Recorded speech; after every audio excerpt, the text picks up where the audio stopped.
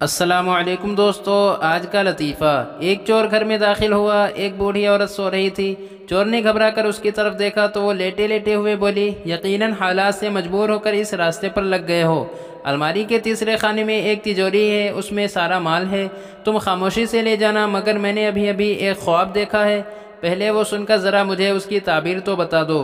चोर उस बूढ़ी औरत की रहमदिली से बड़ा मुतासर हुआ और ख़ामोशी से उसके पास जाकर बैठ गया। बुढ़िया ने अपना ख्वाब सुनाना शुरू किया। बेटा, मैंने देखा है कि एक चील मेरे पास आई और उसने तीन दफ़ा ज़ोर ज़ोर से बोला, माजिद माजिद माजिद। बस फिर ख्वाब ख़त्म हो गया और मेरी आँख खुल गई।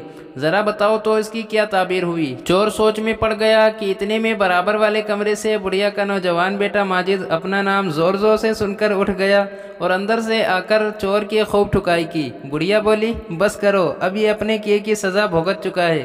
चोर बोला, नहीं नहीं, मुझे और मारो, ताकि मुझे आइंदा याद रहे कि मैं चोर हूँ, ख्वाबों की ताबीर बताने वाला नहीं।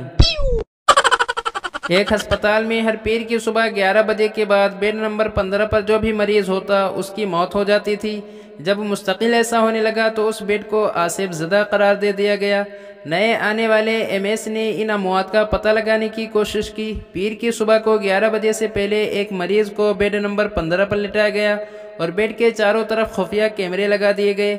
और मॉनिटरिंग रूम में हॉस्पिटल के डॉक्टर्स के अलावा माहिर नफ्सियात, मौलाना हज़रत और साइंसदान भी मौजूद थे। मकसद सिर्फ़ एक ही था कि अमवात कैसे होती हैं। आखिरकार 11 बजे के बाद वार्ड का दरवाज़ा खुला और सफ़ाई करने वाला अंदर आया और आते ही बेड नंबर 15 की ऑक्सीजन मशीन का पिलक निकाल कर अपना मोबाइल चार्जिंग पर लगा दिया और सफ़ाई करने लग गया।